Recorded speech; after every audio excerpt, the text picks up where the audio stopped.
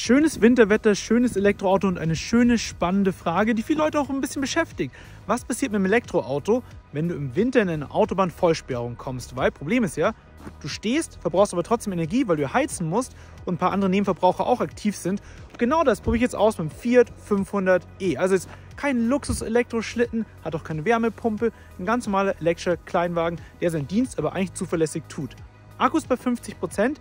Ich setze mich da jetzt rein, simuliere meine Autobahnvollsperrung bei 22 Grad Heizung für drei Stunden.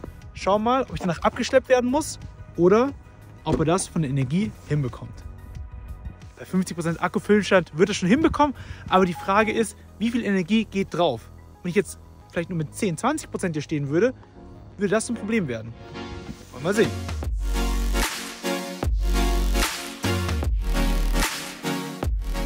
Außentemperatur minus 3 Grad angezeigt vom Auto. Ah ja, und übrigens, herzlich willkommen mal kurz erklärt von meinauto.de. Ich bin der Alex und den Fiat 500e haben wir auch tatsächlich bei meinauto.de gekauft.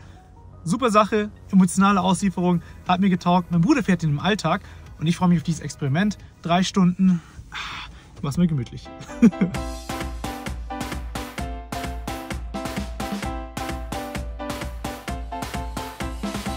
Unsere drei Stunden sind rum, yo! Und wo sind wir gelandet? Bei 38 Prozent und 64 Kilometern. Also minus 12 Prozentpunkte und minus 30 Kilometer.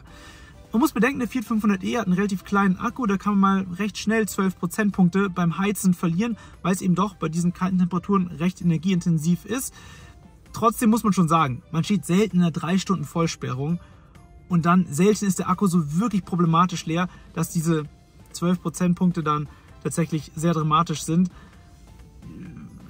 Man kann im Zweifel natürlich auch einfach die Heizung runterdrehen ja, und da wieder ein bisschen Energie sparen. Also ich würde sagen, in einem ganz normalen Szenario, wo du vielleicht mal eine halbe Stunde im Stau stehst und es hat plus 8 Grad oder so, hast du so gar keine Probleme.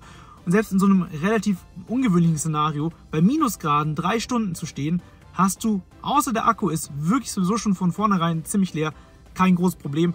Und nur in so absoluten Extremszenarien wie 10 Stunden Vollsperrung, minus 10 Grad und der Akku ist auch nur bei 10% am Anfang, da wird es natürlich schon sehr eng.